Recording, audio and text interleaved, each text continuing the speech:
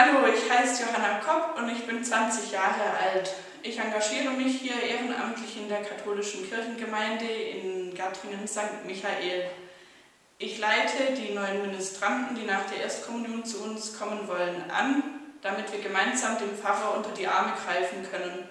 Außerdem wollen wir natürlich unseren Glauben gemeinsam feiern und leben.